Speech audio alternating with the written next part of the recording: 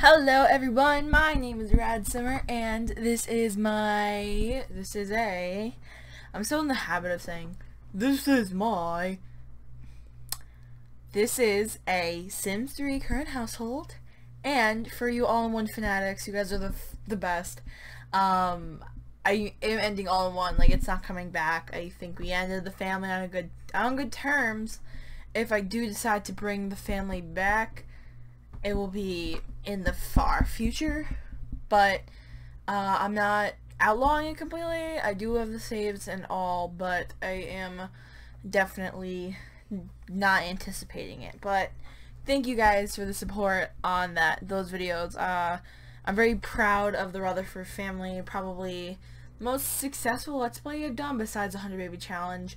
Um, of course. But, uh, yeah here is gonna be a current household. And guess who we got here? We have Naomi.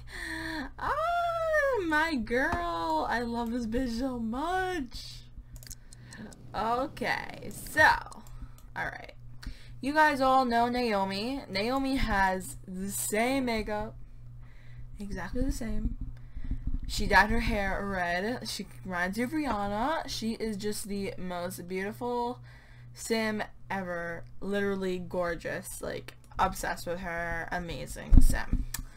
And she is married to someone named Marcus Pennington.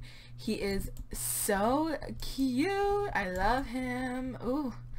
And uh, he is a famous basketball player.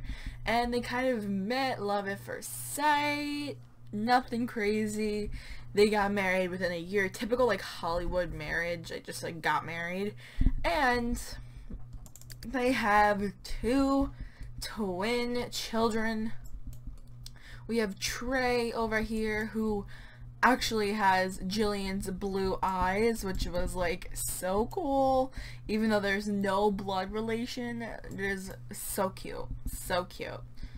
Blue eyes and that's kind of like me. I my parents both have. My mom has blue eyes, and my dad has brown eyes, and all my brothers have brown eyes, and I have green eyes. But it's a recessive gene, like from like my great grandmother. So, yeah. And we have Golly here, who looks exactly like her daddy. So cute. I love babies. Um. Oh, and you might be asking about Hartley, her son that she had in uh, with Chris Brown, not the Chris Brown like Chris Brown. Um, she did decide to give him up for adoption. Uh, not give him up, but put him up for adoption. She really did a lot of finding herself. She spent five years with her best friend, who was Amin, who is in a different world now. I kind of like moved on with her. I really was uninterested. But she spent five years with her best friend in Bridgeport where she was raised.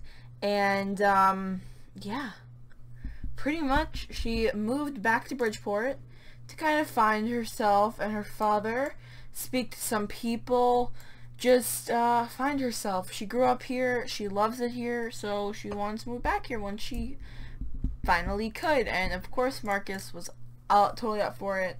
This is like the best city ever to live in. So yeah, they they own this house, um, which actually huh, her grandparents were stayed here in their honeymoon.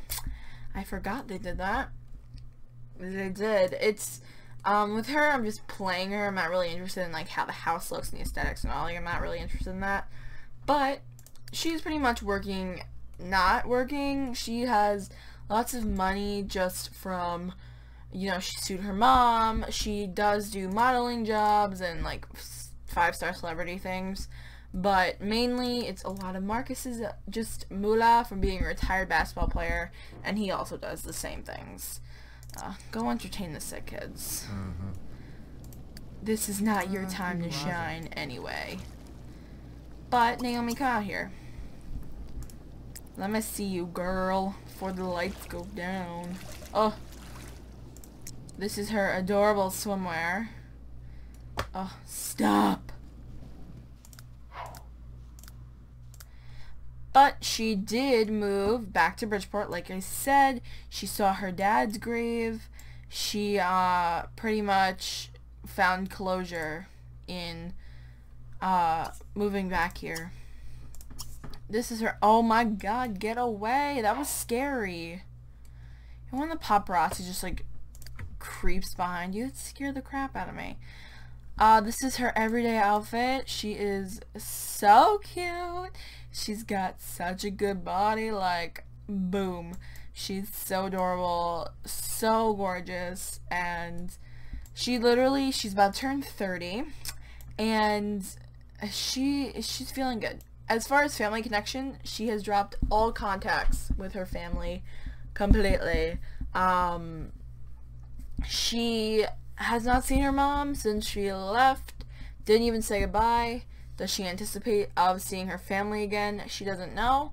Maybe, maybe at her mother's funeral she might pay a visit, but she doesn't know. And she did say goodbye to some loved ones like her aunts and uncles, and especially Jellybean.